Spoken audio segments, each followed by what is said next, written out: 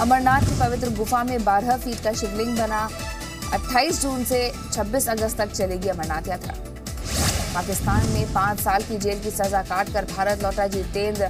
अर्जुन वार 2013 में भटक कर पाकिस्तानी सीमा में चला गया था नक्सल प्रभावित इलाकों में बच्चों को सही रास्ता दिखाने की कोशिश, बस्तर पुलिस ने बनाए पाँच गाने, स्कूली बच्चों के साथ डांस भी किया।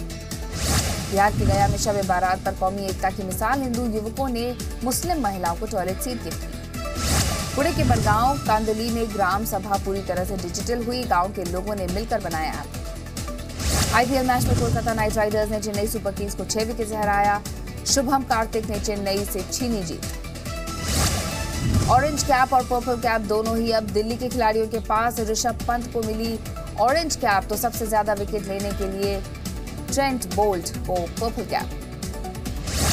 अर्जुन अवार्ड के लिए हॉकी इंडिया ने मनप्रीत, सविता और धर्मवीर का नाम खेल मंत्रालय को नामों की सिफारिश की। इकतीस मई को आईसीसी वर्ल्ड 11 की तरफ़ से खेलेंगे हार्दिक पांड्या और दिनेश कार्तिक। लॉर्ड्स में वेस्ट इंडीज के साथ खेला जाएगा चैरिटी मैच जस्टिन लैंगर बने ऑस्ट्रेलियाई क्रिकेट टीम के नए कोच अगले चार साल के लिए पद पर नियुक्ति की गई।